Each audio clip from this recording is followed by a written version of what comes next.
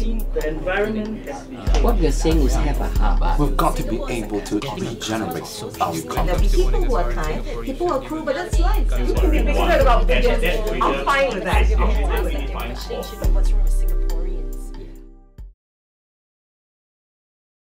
I, I think we can over labor the, the point that this is a problem of integration. For me, drawing on Debbie's issue about the class uh, related aspect of it, it's more a problem of uh, wages and conditions, which in a capitalist society, as is ours and you know all the rest of the world apart from Cuba and uh, North Korea, um, the grievances that the workers have and the problems that the, the government has to deal with and the clear position of the government on, this is- on these issues is not so much in relation to how do we integrate these people, it's more how do we exploit these people the cheapest possible price for the, the, the highest uh, uh, amount of uh, uh, return from them. You know, Isn't this a commercial question that if our companies, Hmm. rather than the gov- government, wants to be competitive, Mm. and if they have to compete with countries in the region, Mm. there has to be certain benchmarks that Mm, we mm. cannot exceed, or we'll be killing ourselves. Yes, okay. That would be true if it weren't for the levy. You see, the levy raises the unit cost by almost 50% for But workers. isn't there a reason for the levy? Yes, but it doesn't work. Because as Debbie said To earlier... discourage the employment of foreign workers, yes, it doesn't work. It doesn't work because what What happens is about the that... situation with domestic workers? How is it that if we, if they reduce the levy, does that mean that Singaporeans would rush in and take those jobs? It's not discouraging Hmm. The, the hiring of migrant workers because no one else would take those jobs. Yes, The same mm. thing with the construction or the shipyards. Mm. If you eliminated the, the levy right away, would there be Singaporeans who would take that Mm. jobs? Okay, are we Maybe- away maybe from the can I- We are, yes, Can yes, I yes, contribute yeah. a little bit on Yes. the salary wise? I think. Yes, let's come back to the condition of the workers. Good as- salary. Yes. Yeah. Right, to my opinions is that I don't think Singapore are paid eighteen dollars per workers. Hmm. Let's say Indian and Bangladesh going overseas to work, where can they go? Country like Middle East, Malaysia. I think these are the quite similar cou- country that have allowed them to be worked there. If we have eighteen dollars Sing and you compare to Malaysia, I think they are definitely better off than Malaysia. If they mm. go to Middle East, I think they don't get. It's, it's quite equivalent. I think our eighteen dollars salary is quite close to Middle East as well per day.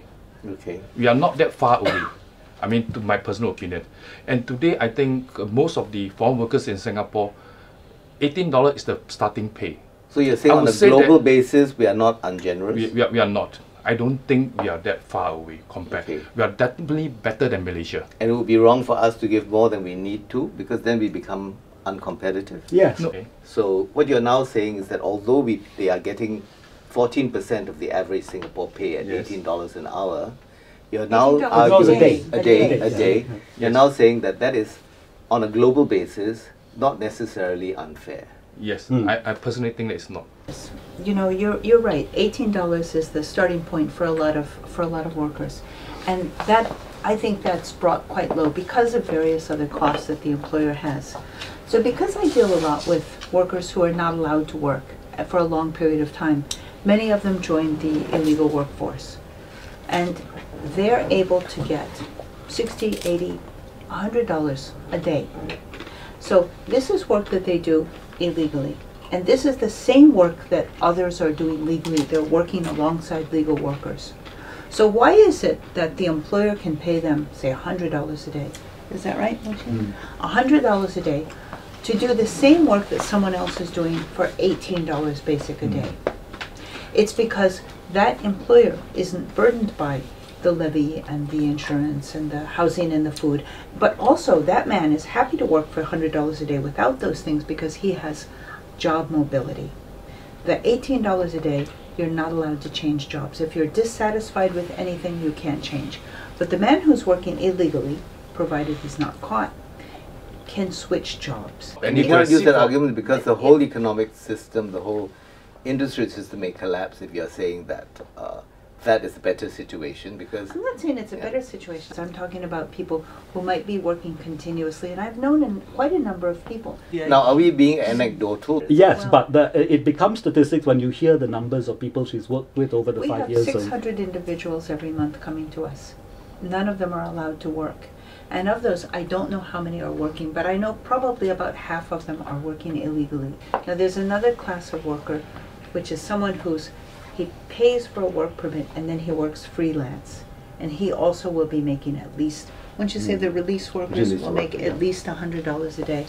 They, But they have to pay every more. they have to pay about a thousand dollars every month to their employer to keep their work permit live, to Sure. keep it valid. Hmm. But, so they must be making well over that. Okay. So I I'm think just this saying we that have those to jobs leave, yeah. Are, are, are available. Sure, And I know take your many point, people who've yeah, done and it could be valid, but I think it has to be validated empirically, because otherwise it's just anecdotal. But can I move on away from wages now? Okay. Are we saying that we are generally agreed that although they may be getting less than what uh, they ought to be getting, and that uh, the levy may be frustrating the ability to pay them more, we're also saying that on a regional basis, we're not necessarily unfair, and from a business viewpoint, we may not want to pay them more because then it disadvantages our business people, not the government. But can I move on to another area, which is the working conditions? Um, In this respect, are we uh, being fair to them? Some of uh, employers, worker mostly complain their employer, their supervisor, treated Their them- super? supervisor, company supervisor, Oh, the supervisors, yes. mm, they, they treat them very badly. So our country, Bangladeshi worker, also they like very much Singapore rather than Malaysia, Middle East, because uh, Singapore uh, have uh, like very nice country, pay more, but uh, living cost also very high. That's why worker they long run they're not happy with the eighteen dollars. Maybe after two years work they get twenty dollars. They're But they are still better off than if they worked in Malaysia. they're happy to work Okay. Then the Malaysia, then the Middle East country. I have experienced that some of worker like uh, the first time come they cheated, they go back, come again. Why they come? They like here, they Yeah. work and earn money. If they have good company, pay regularly, they have earn- good earn. But if they uh, now, like uh, I have experienced over last few years that at least 30% worker now they come they cheated because now some of the local employer they just open the company to hire foreign worker to just making money. How do they make money from the workers? They they have the middleman in Bangladesh, Singapore, Bangladeshi agent. So they have a uh, good term and if worker come, everybody know that they pay five thousand, six thousand dollar to come Singapore. And who collects that money? College money like employer take from the middleman, middleman take, take from the direct from the worker. So this the way the worker saying that actual employer pay them uh, lower salary because of uh, they have to pay uh, high levy and an employer pay levy from where? They pay pay from the worker money.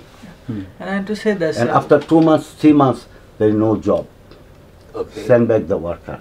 So I I think is uh, they cannot the boss cannot blame to work is uh, levy high that's why I I cannot up money. Because if levy high then he also uh, earn uh, and he also expect to more money from his contractor. I think that is not not problem for boss but they will blame workers. that is problem They, you're saying that the high levy is used as an ex- excuse to suppress the wages of Yeah. the workers. Um, but again, you, you, despite that, you find that the workers prefer to work in Singapore than in the neighboring countries. But you made a very important point that you have 30%, and that's a very substantial number. 30% of the people abuse the workers. So they take advantage of the workers, they cheat the workers. Your cheated could be certain areas like, okay, example, that you you have been promised to work in the so-called electrician's work, but when you come here and you ca- end up you do rebar uh, hard work. So Not um, yet. do you do you The consider promise cheated? what- No, actually, what- what you know- he's talking mm-hmm. about is when, because he has good connections mm-hmm. with Bangladesh, and he hears all the mm-hmm. time about people who've paid the, the agent fees, which can be as high as ten thousand dollars, and they hmm. never leave Bangladesh because someone has taken that money. And that recruiting agent is working together with the employer here.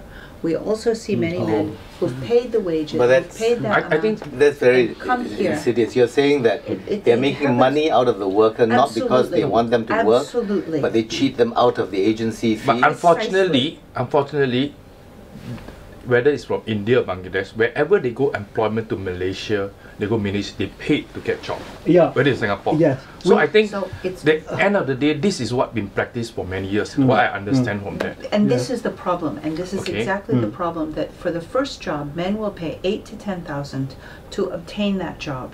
If they work for one year, they haven't made that amount no, they back. need something like 17 and a half months. Two years before also they they I- I cannot get think- it. recover I- I their think- migration Sometimes, cost. sometimes I- I think- two years. So if they're sent back within hmm. six months, they are deep in debt. Maybe maybe you need to go in depth a little bit to know that workers who come Singapore to work in construction industry, they need to pass a test before they come.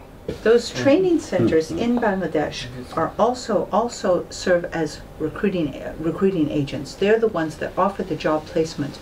So many of the companies here will work together with those training centers, will source their workers there. So the money that they pay to the training center is also part of their placement fee. We've also found many men who earn that BCA certificate either well, if the company itself pays for that here in Singapore, the company very often doesn't release that to the worker when he goes home. So he's not able to use that training that he under that he's undergone to come back again.